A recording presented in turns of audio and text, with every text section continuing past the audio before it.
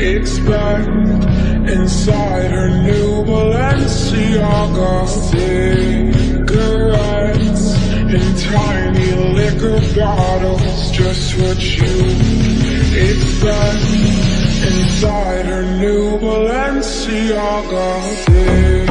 cigarettes in tiny liquor bottles, just what you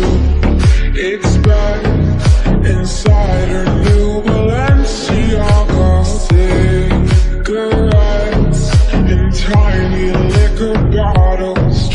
what you expect